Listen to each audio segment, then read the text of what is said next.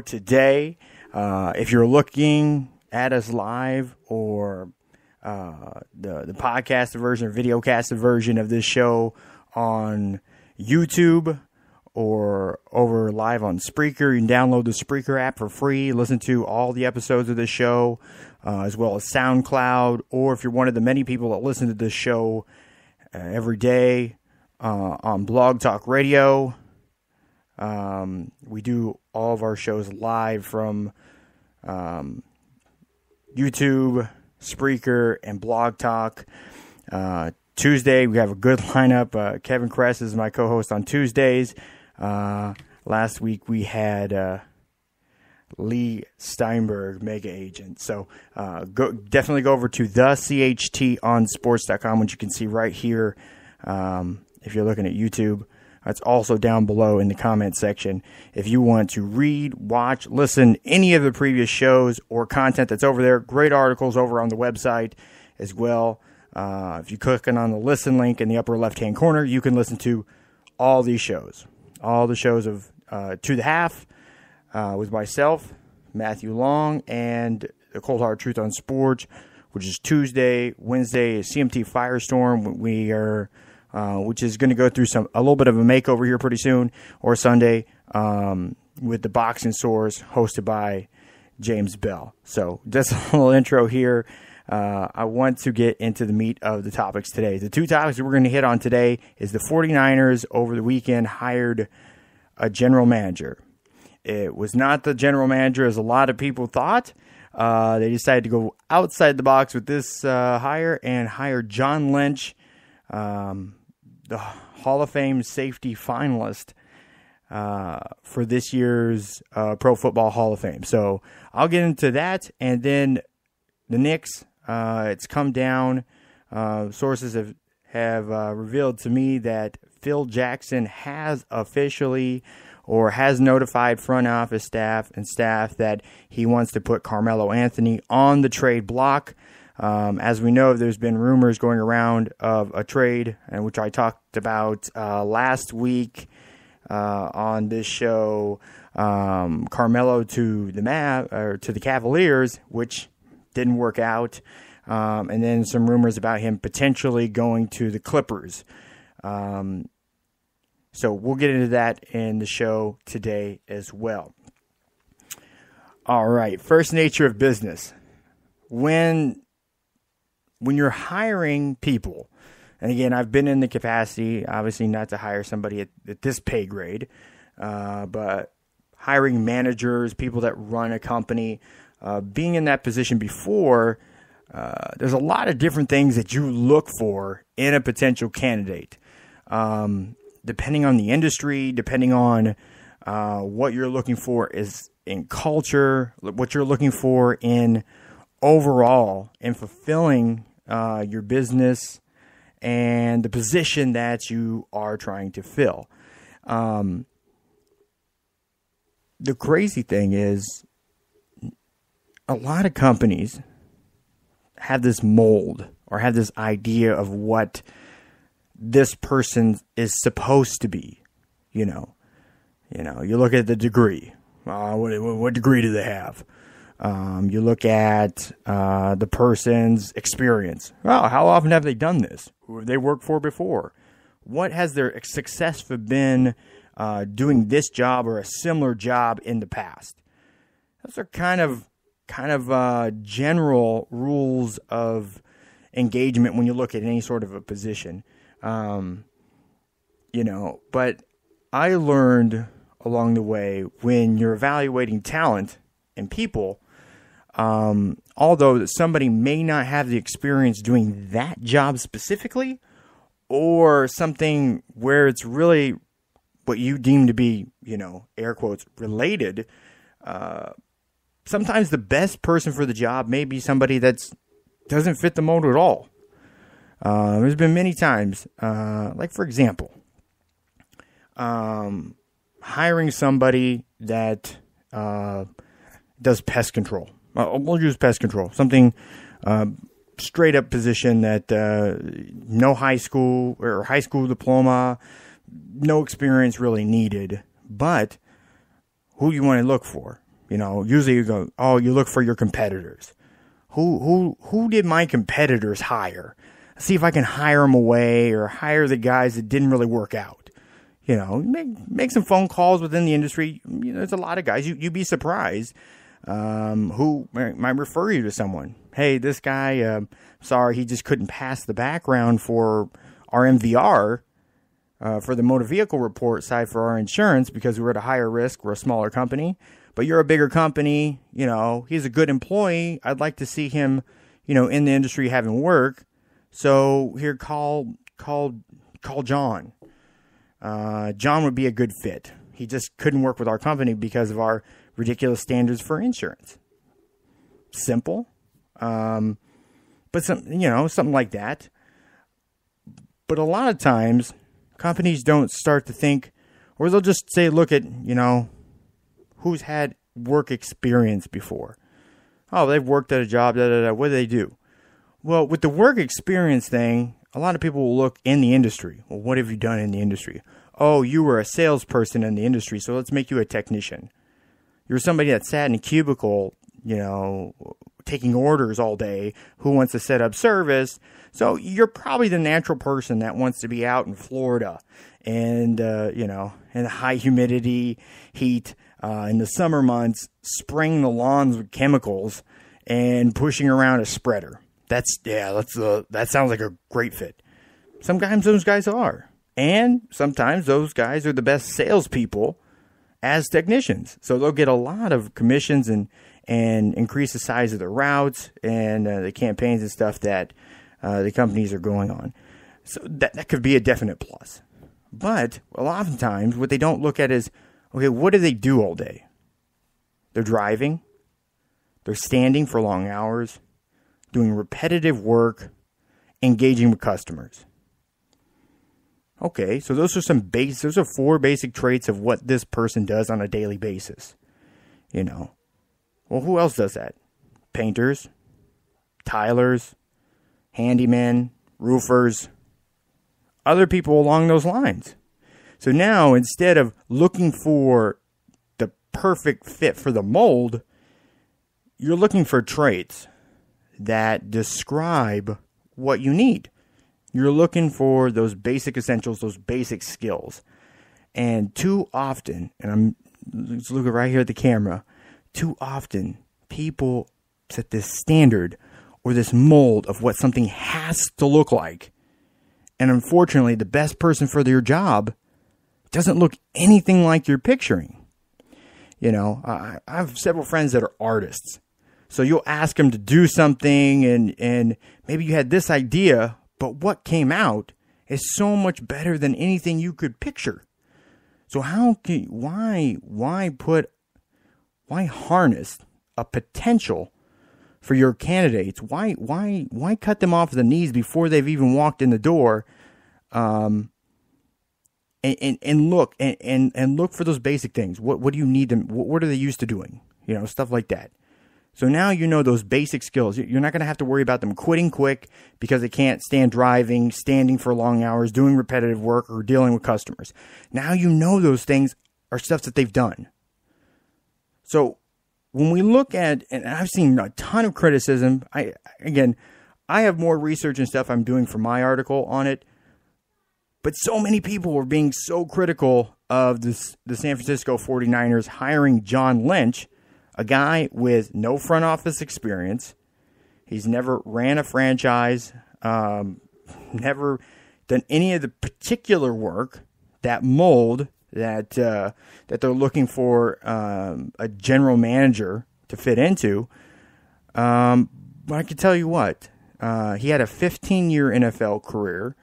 Before that, three years at Stanford. Uh, he was a dual athlete at Stanford. He went to their, he was on the team, it was in 1990, 1991 when they went to uh, the College World Series. He's high IQ guy.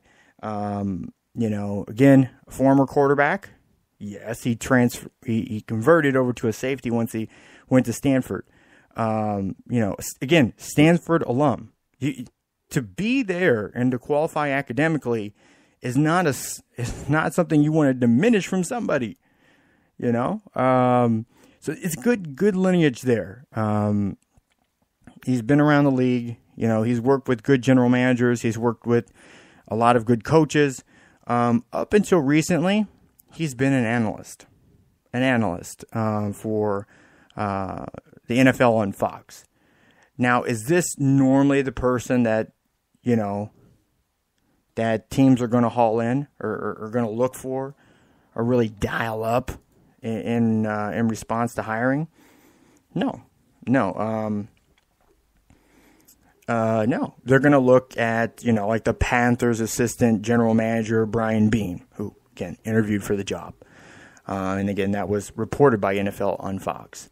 Uh, they would look at guys like um, you know um, assistant GM George Paton from the from the Minnesota Vikings, also interviewed for the job.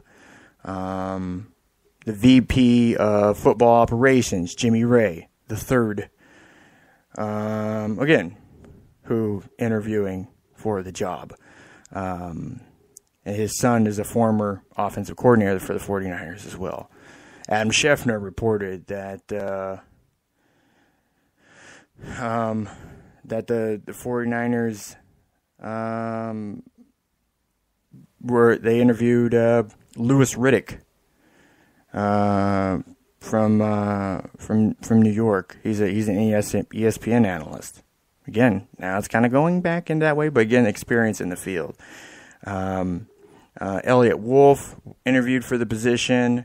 Um, Green Bay didn't give him permission, but I mean the reports were he he he, uh, he did anyway.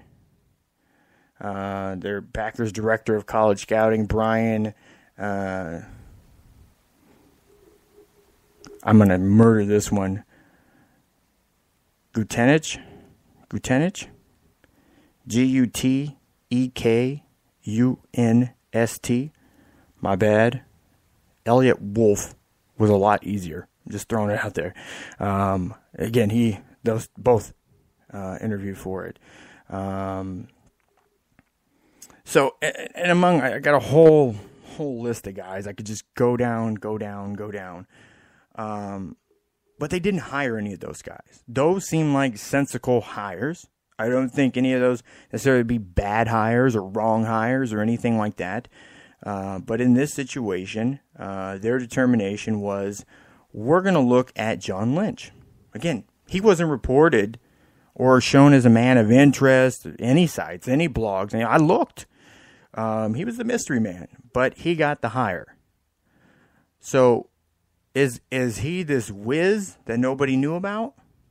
Ah, everybody knows about him. I mean, we've listened to him on uh, the NFL on Fox for years. We've, his commentary, his broadcast, his analytics uh, for the game of football.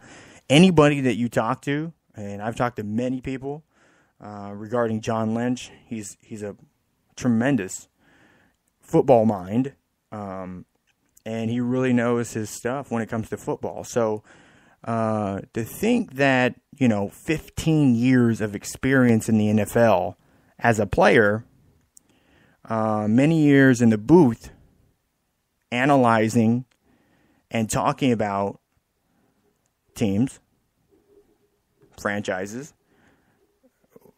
doesn't give him a you know maybe a hint of uh, consideration is is is is frankly uh, misguided.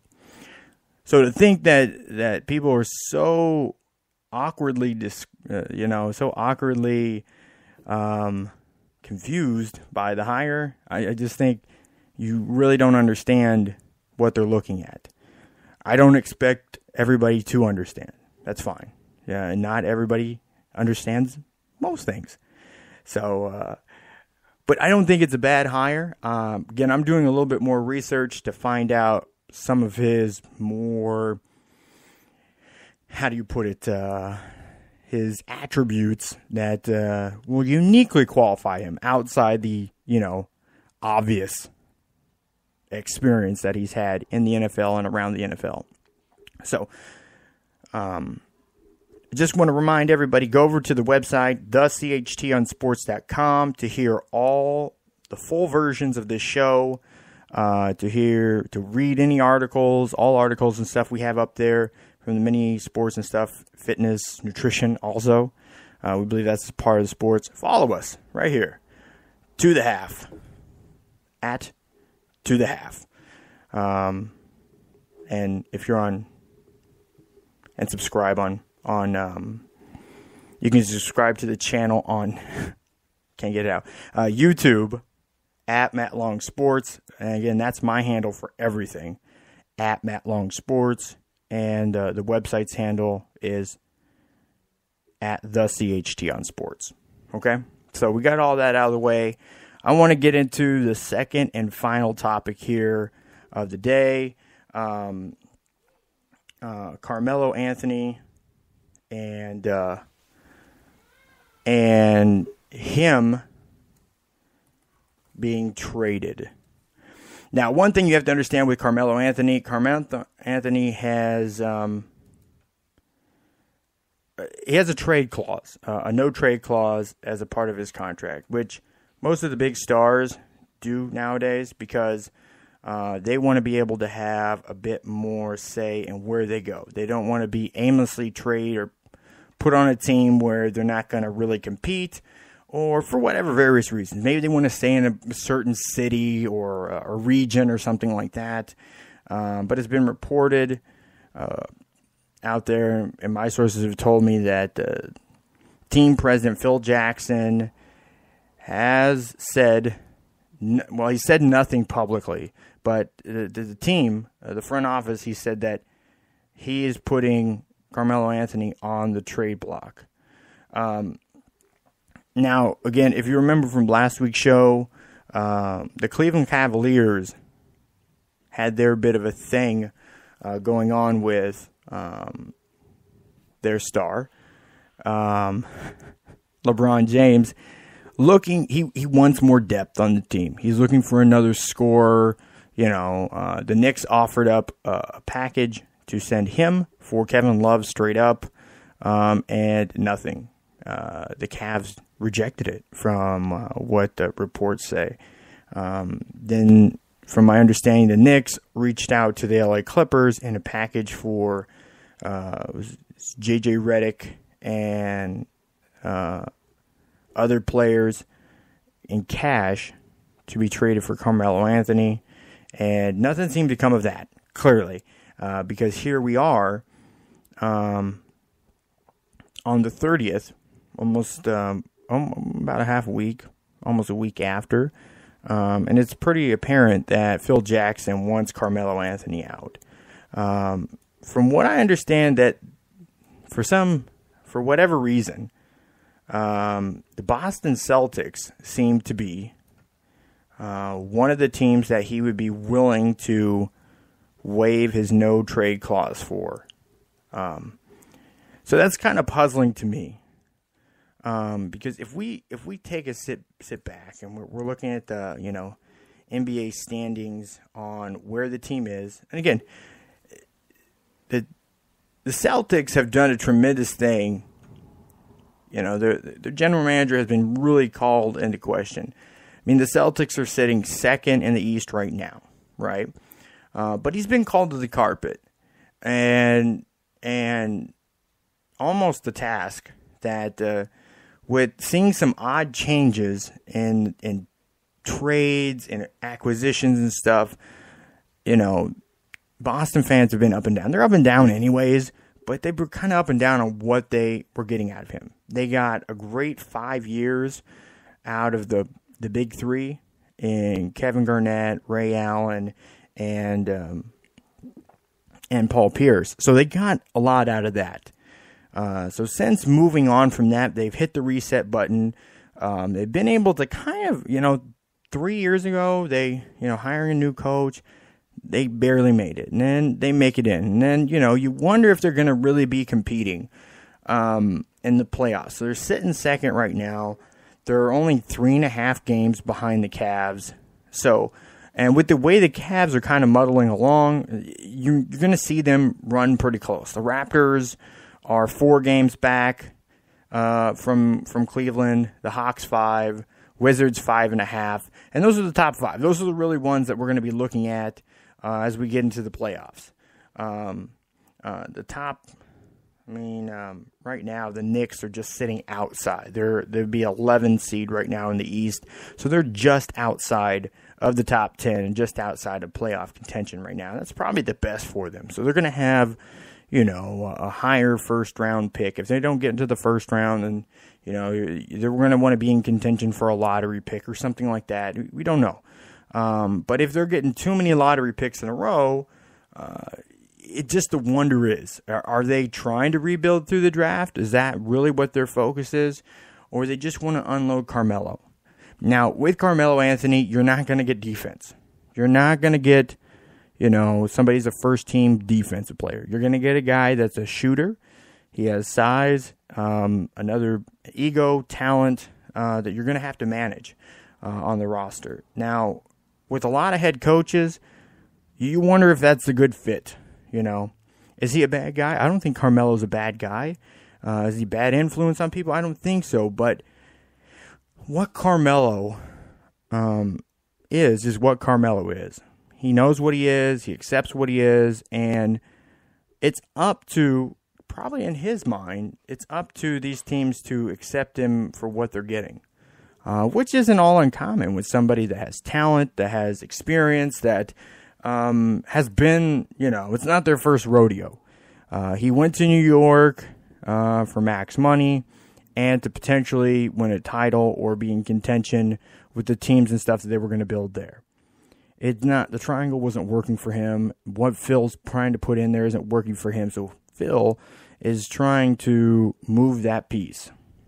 So it's not it's not uh, it's not a bad thing on Phil's part. It doesn't mean Carmelo's a bad guy or not a good uh, or not a good player or people should run away from him. It just simply means that he needs to find a system that he's going to work within. Um, and that system's going to have to work more around him and use him how he wants to be used. So that's a tougher fit. You know, plus you have to absorb a max contract. That's the other thing too. So with the Celtics being second in the East, that's probably his train of thought. You know, they're second in the East. There's a lot of potential talent there. But what pieces would the Celtics have to give up to go to get him? Uh, the Cavs, we already know that they've decided they didn't want to give up Kevin Love. Uh, but we'll see how things develop here um, as as we get closer to the trade deadline and the All Star game for you know, for the NBA. So we'll be keeping an eye on that, and I'll give you some more on that. As far as the league goes, I wanted to get into what we're looking at. Right now, it's it's truly it's truly the Cavs in the East, and in the West, either Warriors or Spurs.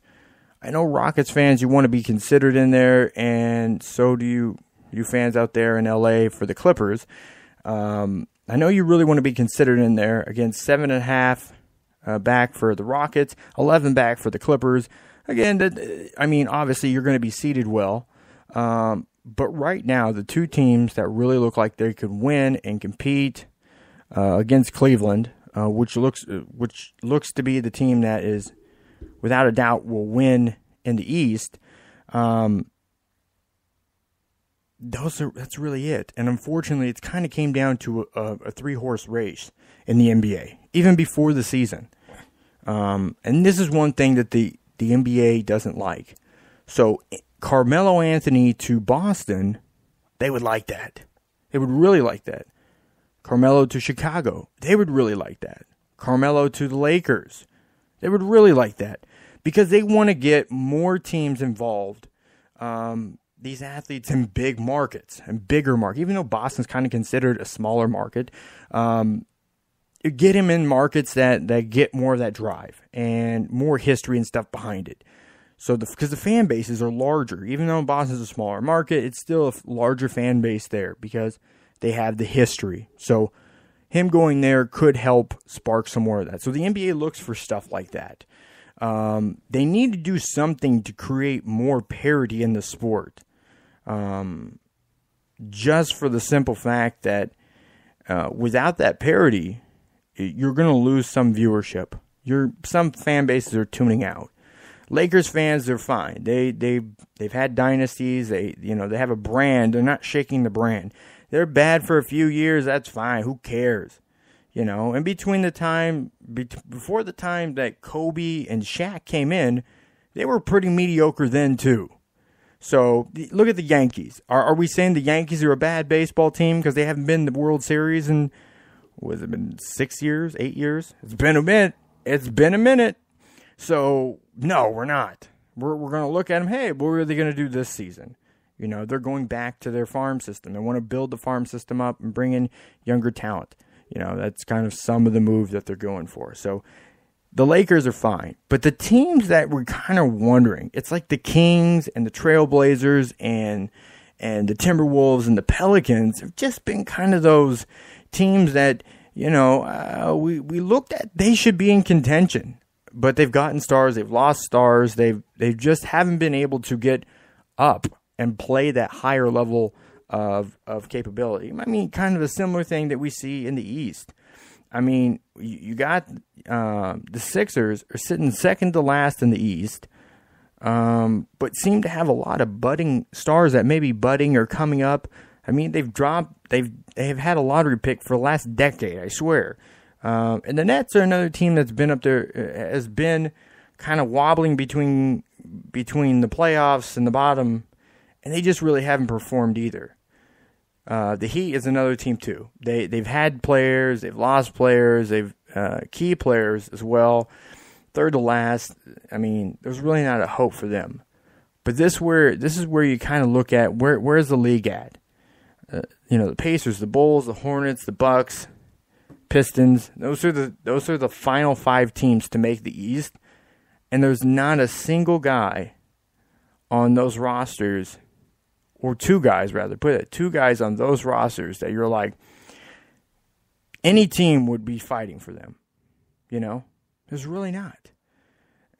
And without that star power you, you could see in the nba you have to have more stars you have to have a star or two in the nba to really make things go and a bench. So my question is what is the league going to do to create more parity in the sport? So that's the big thing for me looking at it. Carmelo, I think he'll be a good fit for a lot of teams um, if they use him the right way, but a lot of teams aren't going to work for him. Well, that's all we got for today. Be sure to tune in tomorrow at To The Half. Follow us on social media at To The Half. You can follow me at Matt Long Sports and check out the website, thechtonsports.com. That's all for me today. I'm out.